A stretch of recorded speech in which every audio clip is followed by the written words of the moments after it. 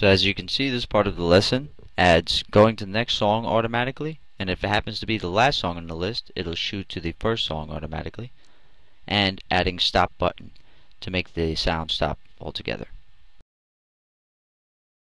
Hello everybody, Adam Flash Building here. We're continuing our ActionScript 3 MP3 XML playlist player here in part 4 and this player is totally awesome and I'm made up of nothing but sound vibrations. I'm very in touch with sound. And that's how I know so much about sound programming in ActionScript 3. It's because the other universe I'm from. Okay, since we're staying real smart and tackling the project in phases, we have part 1, 2, and 3 going so far, and they correspond to the videos that are 1, 2, and 3 on my channel. And the source files are also available at developphp.com. So I'm going to take part 3, copy, and paste, and move on to part 4. And it's a good way to work like this sometimes if you're making uh, complex applications. That way, if at any part of the process you make a boo-boo, make a happy little accident, you can go back and delete the current one you're working on and revert to the last one you were working on that was all working nice. So let's uh, rename this Potful. That's what I'm going to do. Alright, now I dig into that file. Let's open it actually let's just rename this. Rename part 4 let's delete that because the new one's going to be created when we press F12 to render out all the files. Now we're ready. Let's double click it.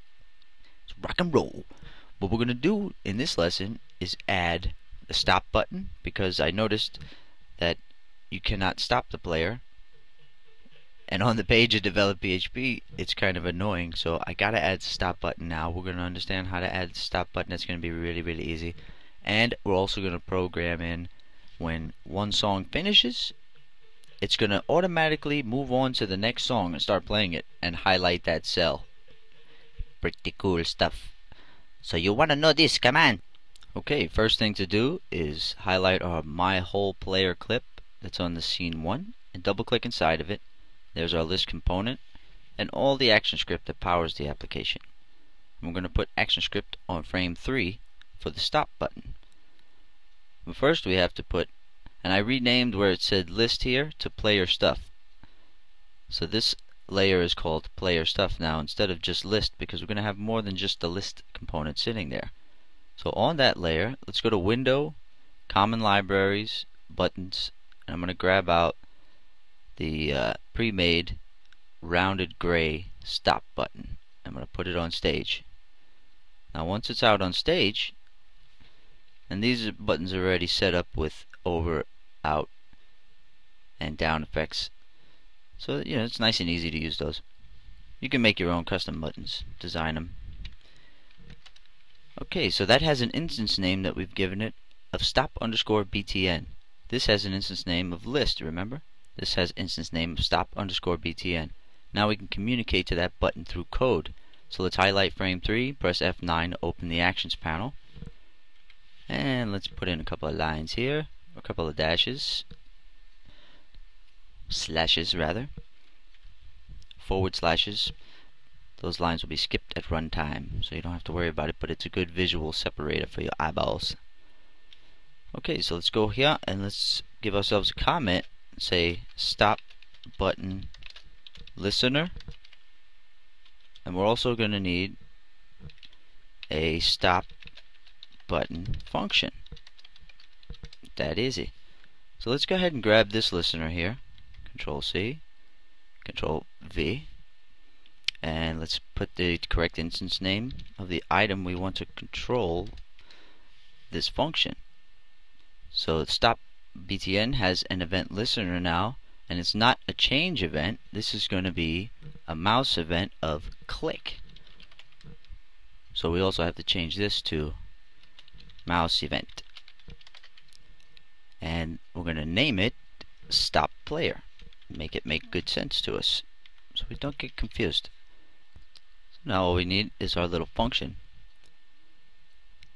So stop underscore btn has an event listener now it's a mouse event click and what it does is fire up a function called stop player whenever that button is clicked now. So we need a stop player function. So let's just grab this function. Beginning. Change the name on the function to stop player and make sure this says mouse event. So let's copy that. Event is mouse event colon void let's close off the curly brace. Now we have our function as set up. This is very simple. We just type in channel dot stop.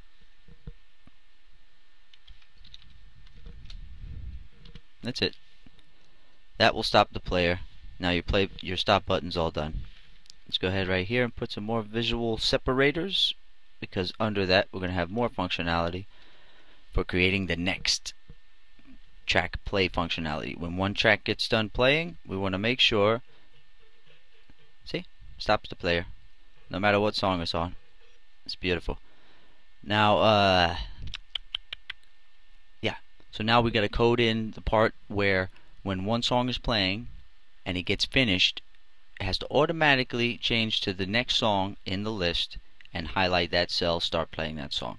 That's what we do now. Okay, let's highlight frame 3, click F9, open the actions panel, let's go down, let's give ourselves another comment here, and we're going to call this event listener for sound complete.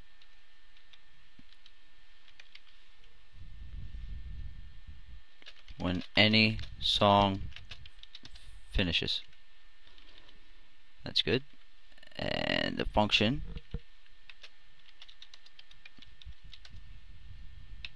on sound complete. Alright, now all we need is a listener, so let's just let's just go ahead and grab all this here that was powering the stop button. Let's grab that listener, pop it in.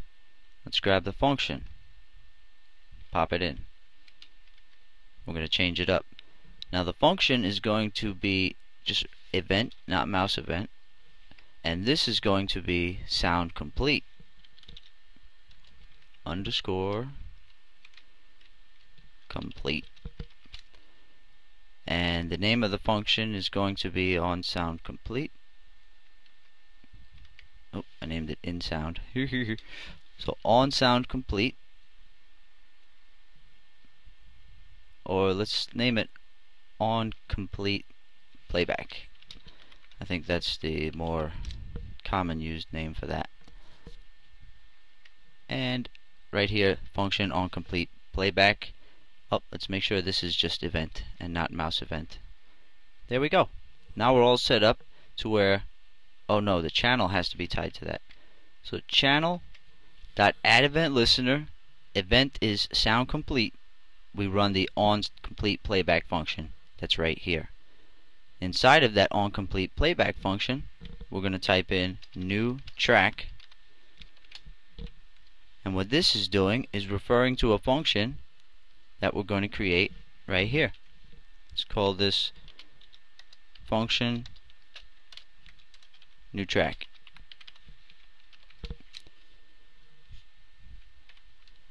Now, so every time any song gets finished playing, it's going to run this function on on play uh, on complete playback and then this function called new track is going to fire off and we're going to set that function up right now. It's not very difficult. Okay so to save a little time I'm just going to go ahead and pop that in. And here's what we have. Lines 31 through 50 were just added in and it's called function new track just like I said we were going to call it.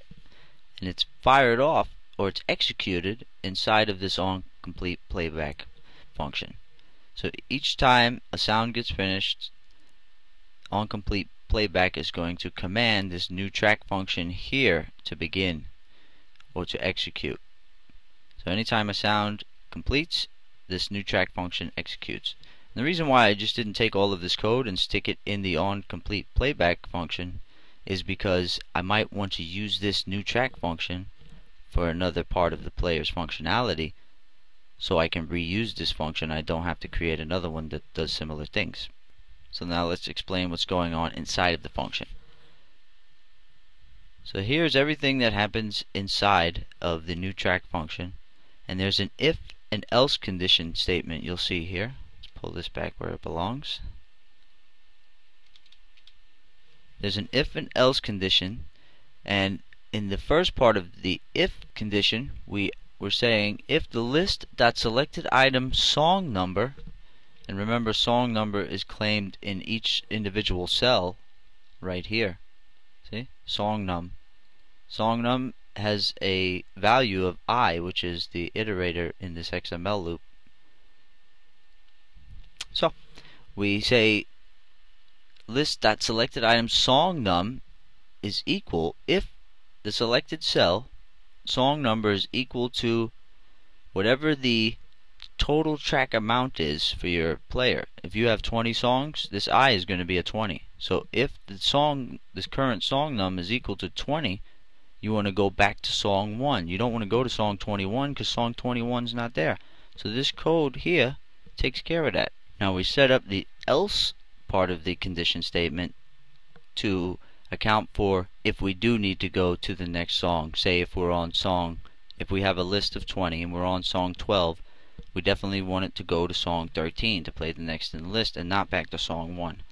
So this handles going back to song 1 if this certain condition is met and else we just go ahead and go to the next song in the list and play that one. So let, let me explain what's in this first part here, this one, two, three, four, five lines if the song num is the last song in the list, we stop the channel, then we claim a variable, it's a new array of select first, similar to what we did in the first frame to make that first list component cell highlighted by default.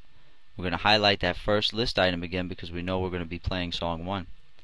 Then we say list dot select indices which is the way to highlight the item automatically, select first.